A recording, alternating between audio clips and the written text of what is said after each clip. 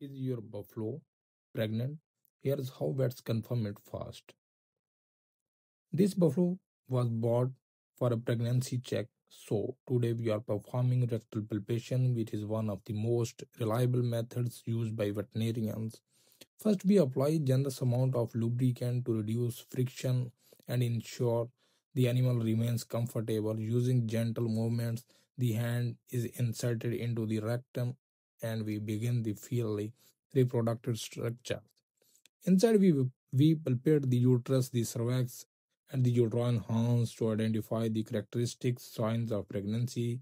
If pregnancy is present, we can feel changes such as a enlargement of the uterine horn, fetal membranes, are fluid inside. This method is co- completely safe when we performed correctly and helps farmers confirm pregnancy early, plan feeding, and manage breeding more efficiently.